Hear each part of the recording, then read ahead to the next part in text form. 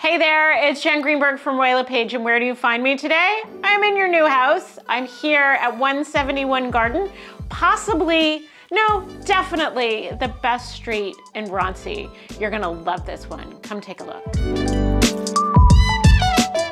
This three bedroom semi-detached package of wonder and delight is just going to amaze. We have character, charm, and this main floor, killer. Open plan, oversized, call it a living room, call it a living room in an office, call it anything you want. Then we've got a wonderful kitchen, dining, family room, a walk-in pantry. We've got great windows and we have a west lot. What does that west lot mean for you? You're filled with light pretty much all day long. Then we have a lower level. We've got a laundry area. We've got another bathroom, space for exercise office and a rec room and a little storage to boot. We are firing all cylinders. This house is amazing.